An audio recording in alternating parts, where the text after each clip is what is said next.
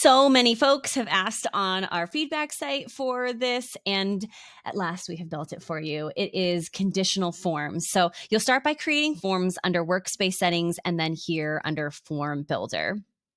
So you start by clicking this plus button. You can either create a brand new form or you can start from a template. So you can, the way this template library works is you can kind of search through each of these types and see each of the forms that are available here. And then when you click import, it's going to add here in uh, in its folder in your actual account. Then you can click on it and edit it. Um, I am going to show you a conditional form that was built, and then we'll take a look at how it works. So, um, each of these elements over here, um, all through form inputs and content, those you can use conditional logic uh, and apply it to any of those pieces. You're going to want to apply it to the question that you're trying to decide. Okay, I've asked this question. Now I only want this question to this next question to show if these answers were made right? Confusing. Okay, I'm going to show it to you. So um, I have used this uh, select box right here. So that is this question right here. It's a select box where you can choose multiple, you can choose one answer from a drop down.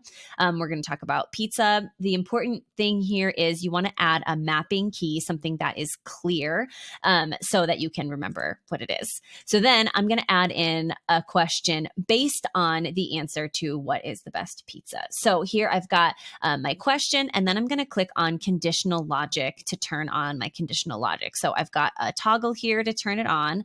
Um, you have an and or an or indicator. So in this case, I want to do or if any of these conditions are true, and then you'll add your conditions here by clicking on edit. And so here under field name, this is going to show you everything prior that you can base this question off of um, in your conditional form. So I just have the one question before, so I only have one option here.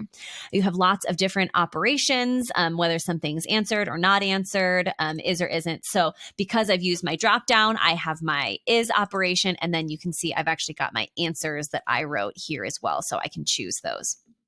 Um, and I have two of these, but if any of these conditions are true, someone has answered cheese or pepperoni, I want to show this question. However, for this next question, I only want this one to choose. So I can either choose and or, or in this case, but um, same thing. I'll choose my field, but you can see now I've got a second option here because everything before this is uh, you have an option to add conditional formatting for anything, any question that's before this question in your form.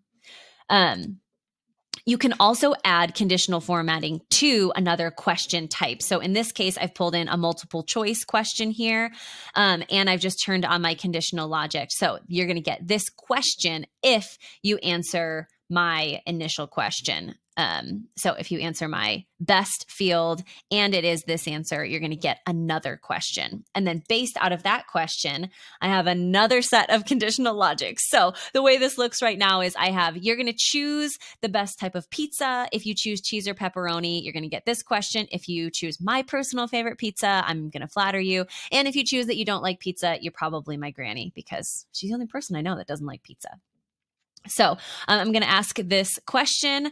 Um, I just have one setting. So again, you can use and or, or in that case, um, I'm going to pull in another question with conditional logic here. Or in this case, I've added some text. So I pulled in a text box, turned on conditional logic, and I'm going to show this text if um, these conditions are true based on my are you my granny question.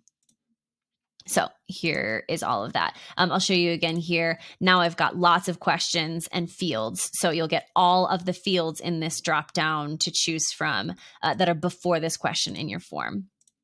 One thing to note if you are going to use the checkbox with multiple options, now you have quite a few more things that there are new conditions, right? So um, in this case, I'm going to use this conditional logic on a text box, and I've turned on the and conditional logic. So I'm going to show you're brilliant if you uh, have looked at this field that I mapped and you have chosen these two answers, but you didn't choose this answer because ricotta is delicious on pizza. So you can kind of mix and match your operations here. And in that case, you're going to either choose, I want all of these things to be true, or I just want um, one of these things to be true. Okay, so this is again when you use your uh, check boxes where someone can choose more than one answer, you'll want to use this operation. The is and isn't will not work here. So you want to make sure you're either using the contains or doesn't contain option.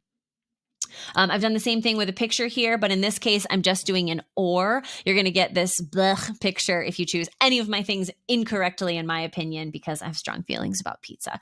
So uh, again, I've mixed my operations here. I've used con- doesn't contain and contains and added my answers. And I'm, if you choose any of those things, you're going to end up with this picture. There's only one right answer, in my opinion, here.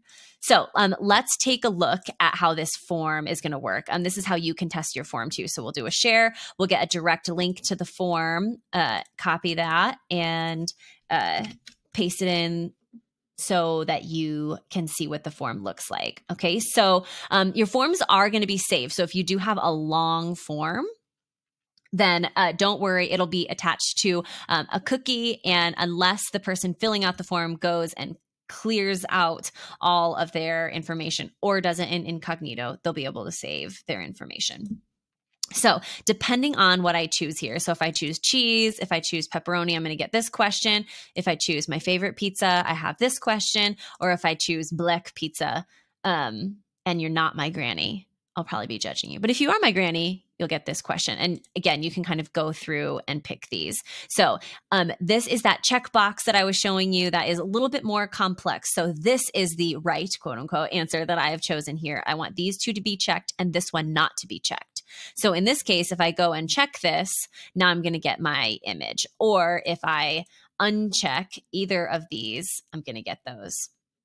So that's a bit how um, those pieces can work um, all together using text or images and also all three types um, a checkbox, a multiple choice question, and a drop down. So that's conditional forms. And we're super excited for you to use it and make all your forms glorious.